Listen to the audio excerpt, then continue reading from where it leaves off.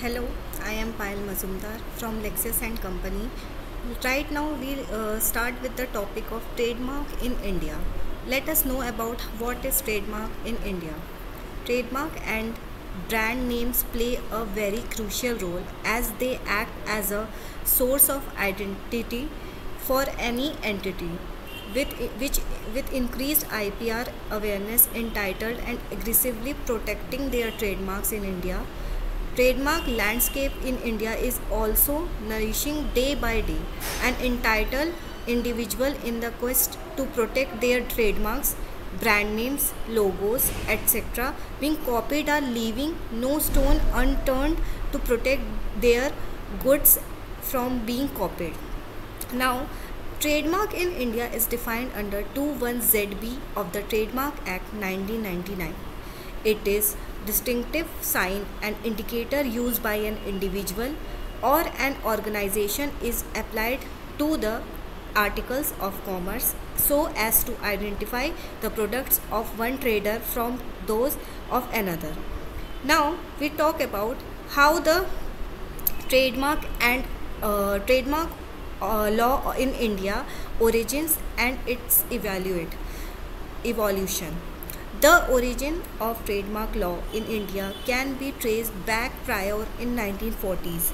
There was no statutory law related to trademark in India when common law principle of equity and passing of was were administered for the protecting of trademarks in view of the lack of specific legislation dealing with the nuisances of infringement and passing of the trademarks, the Trademark Act of 1940 was enacted for the first time in India, providing a machinery of the registration and statutory protection for the trademark in India.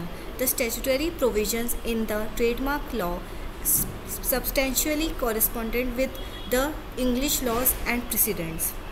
For example, if uh, if uh, in uh, there, therefore considered the argumentation in trade and commerce a need was felt by the legislature for robust pro, uh, proprietary laws and accordingly the legislation was replaced the trademark act 1940 was substituted and replaced by the trademark and merchandise mark act 1958 now we talk about how the uh, trademark performs the following.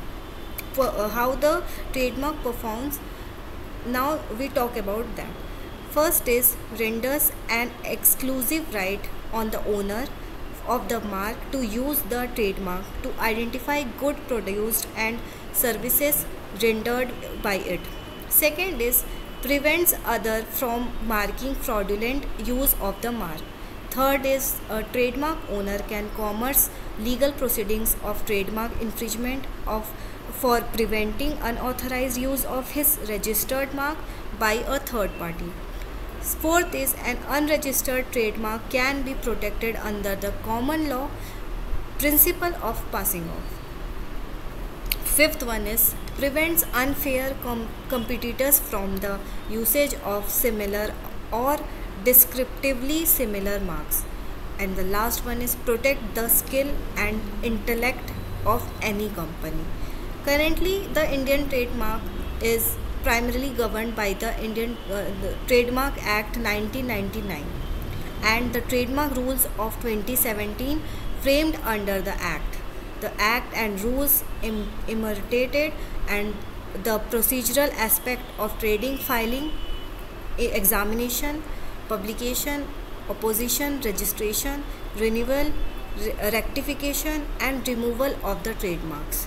Similar, the patent, the chief administrator of the trademark system in India is the Office of the Controller General of Patents, Designs and Trademarks functioning under the aegis of the Department of Industrial Policy and Promotion. Last one we'll uh, talk about what are the whole process is successful.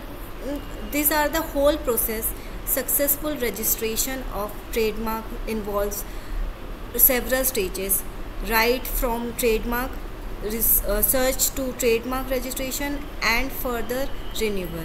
Each stage involves fulfillment of procedural requirements and documentation. Thank you everyone. If there is there are any doubts regarding this topic, let me know uh, in the comments. Uh, we will discuss in another video. Thank you so much.